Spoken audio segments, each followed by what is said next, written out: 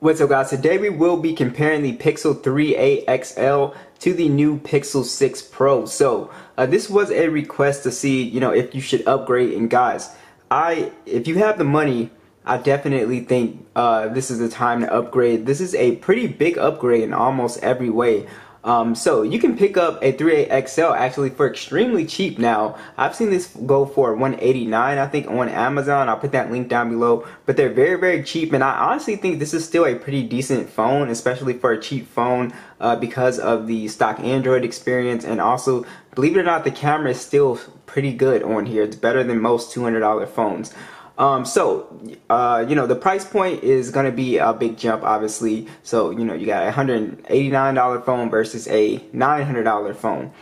Um, so, hardware wise, you're getting a pretty big upgrade here. And the 3A XL was never a, you know, it was never a flagship device. Um, but as you can see, two very different designs here. You have a plastic build on a 3A XL. Obviously doesn't feel as expensive as the, you know, glass and metal design on the Pixel 6 Pro here. Uh, you also have IP68 dust and water resistant and you do not on the 3A XL. Um, the 3A XL does definitely feel much lighter and it's a much smaller phone too as well.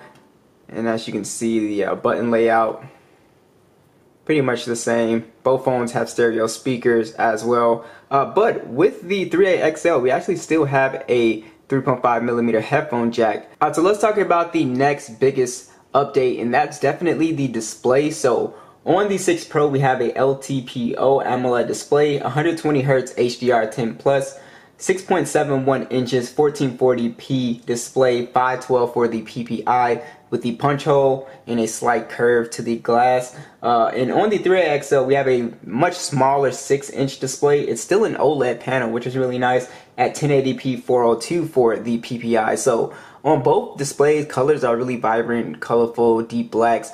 But you can see the difference with just the very slim bezels on the 6 Pro and then it does the punch hole which this actually has no uh, punch hole, which is really nice on the 3A XL. But you still have these big chunky bezels, which does make it look a little bit older. Um, but yeah, so it's just a really, really nice uh, display upgrade because you're going from 1080p to 1440p, and you're also going from 60 hertz to 120 hertz. So everything is going to be buttery smooth um, on this phone. Um, so you'll notice it right off the bat when you're scrolling and stuff like that um, it's just going to feel like a much faster, smoother experience on the 6 Pro. That is what's going to jump out uh, to you the most here. So I think as far as display goes, uh, you're getting a really, really nice upgrade too. Alright, so here's another area where you're getting a pretty big upgrade. So we do have Android 12, the Google Tensor chip on the 6 Pro, and the Mali G78 GPU, no SD card support, 128 gigs of internal storage, and 12 gigs of RAM on the 3A XL, we have upgradable to Android 12. I'm on Android 11 right now though. A Snapdragon 670, Adreno 615, no SD card support, 64 gigs of internal storage and 4 gigs of RAM. So you're getting a good uh, jump up in storage and also in RAM. And overall performance, as you can see with these Geekbench scores, you can see a pretty big score jump here. And if we get to a app comparison, uh, we should be able to see that translate here. So let's open Subway Surf. You can see, boom, already in, already playing our game. So you will notice a pretty, a pretty nice difference here in terms of speed. Now, maybe we won't see it so much with regular applications. Yeah, so not a big uh, difference like we saw with normal applications. And again, that 120 hertz gonna be buttery smooth. You're gonna notice just less stutter and choppiness. Pokemon Go. Again, very fast, gonna be very snappy as you can see. Oh, that actually took it. So you can see that actually took a, took a little bit of time there. Try Instagram.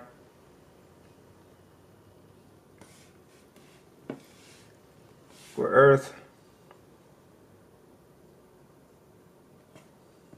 So you can see a nice big upgrade. And as far as gaming, we will see a big jump with gaming as well. So if you are a gamer, you will see a nice increase in terms of graphics and performance. If you guys haven't checked out my full gaming test for the 6 Pro, be sure to check that out. It does a very good job, but it's not quite optimized yet for PUBG. It should be doing, it should be giving off better settings in PUBG as we're going to see.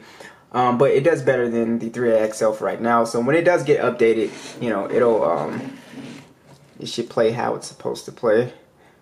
I mean, it plays fine. It just doesn't play at the, the settings that a Snapdragon 888 will play. But everything else, Fortnite, um, PUBG, I mean, uh, Call of Duty Mobile, plays fine at max settings. Um, so as you, we can see, Extreme, only Ultra. But it shouldn't be, it shouldn't be matching this. Like, you see what I mean? No, it doesn't match it on that. It's still Ultra, but it should be Extreme all the way through and there's no Ultra HD. So that's what I was talking about. If you guys were curious about, um, you know that. So guys, when you are gaming, you will just notice how smooth everything is, and I do believe that uh, PUBG will eventually start optimizing their phones to work with 120 uh, hertz displays or 120 frames. Uh, even on my 7 Pro, I do have a 90 FPS option on that one, so I think that'll be standard eventually, and then you'll really feel that difference in terms of gaming performance. But yeah, overall your game performance is just going to be much, much better, much smoother with higher frame rates.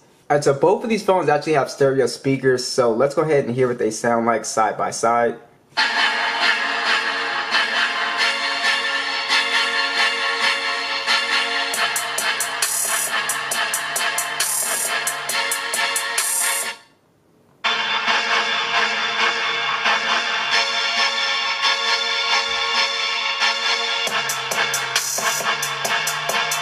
So you can hear the speaker upgrade is pretty massive here, just way more bass on the 6 Pro and just overall louder speaker. The 3 XL actually sounds a little bit flat um, now when you actually compare it. I thought this was actually a pretty good speaker at the time.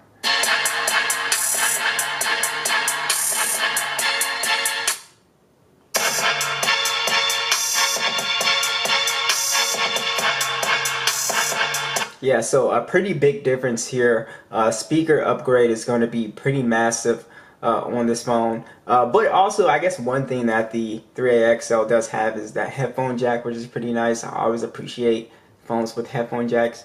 But overall, the speaker was better on the 6 Pro. Alright, let's go over some additional features here. So, with the 6 Pro, you do have now a under the display fingerprint sensor, which it works fine don't have any issues with it. But it's not as fast as the physical fingerprint scanner on the 3A XL. Uh, this one still is much faster than the in-display one. Um, so I think Google, since it's their first, I believe, yeah, this is their first in-display fingerprint sensor. So I wasn't expecting it to be like amazingly fast, but it's accurate. Don't get me wrong, but it's just not as fast as some of the uh, other ones like with OnePlus or Samsung it definitely it's it gets the job done. You just have to kind of hold your hand down on it just a little bit longer. Uh, but both phones have NFC as well, which is really nice for your mobile payments. And you also have a really cool wireless power sharing mode on the 3A XL, and we do not have uh, wireless charging on here. Uh, but if I was to just, if I wanted to charge like some earbuds or something or another phone, you can see I can charge it up 23A XL. That's always a nice little feature um, to have as well. Uh, you also have wireless charging on the uh, 6 Pro 2, uh, which is really nice as well. Alright guys, so let's go ahead and talk about the camera. So now you're going from a single camera setup to a triple camera setup, and that's pretty big. So um, you get a triple camera setup on the 6 Pro, a 50 megapixel lens, a 48 megapixel telephoto lens, and a 12 megapixel ultra wide. It shoots in 4K 30 or 60 FPS, and then an 11.1 megapixel ultra wide front facing camera that shoots in 4K. Guys, this is a massive upgrade, really just for the extra lens alone, uh, but also you're just getting way more detail with that 50 megapixel lens. You have an ultra wide now to take ultra wide shots, and the telephoto it does go up to 4x optical zoom, so it's a massive upgrade for that alone. And also, image processing is just going to be much better uh, on this 6 Pro. Low light performance is just going to be uh, way better as well. So overall, you're just getting a way, way better camera setup here. Um, it is really, really nice. So I think if you're to upgrade the display in the cameras is going to be like the massive upgrade that you're going to notice here. So with the 3A XL, um, like I said, it's still really good for just a single lens, especially it, it's really competitive. I think it takes better pictures than a lot of $200 uh, budget phones.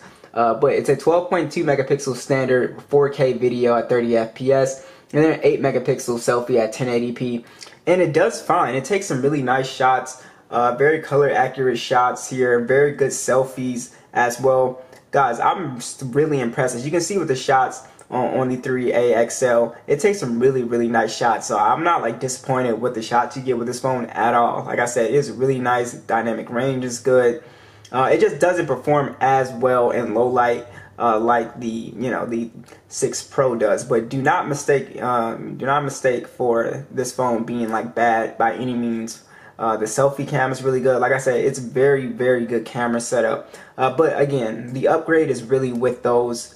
Uh, that 50 megapixel sensor and then those extra sensors you get does make a huge difference in overall uh, taking photos. Alright, so let's go ahead and talk about battery performance on here. This is also an area where you're getting a pretty nice upgrade. On the 3AXL, you get a 3700 milliamp battery with 18 watt charging. And then on the 6 Pro, you get a 5003 milliamp battery with 30 watt charging. So it charges much, much faster uh, than the 3AXL. You also get wireless charging at 23 watts and that reverse wireless charging like I showed you guys. Um, so Screen on time is going to be way better. The 6 Pro, it really can go for around 8 hours of screen on time. And the 3A XL, it looks at about 6 to 5 hours of screen on time. And again, it varies on how you use it. Uh, but yes, so you're getting much better battery life on the 6 Pro. So what do you guys think? Uh, just to sum it up, a better design on the uh, 6 Pro, better cameras, way better display, better speaker.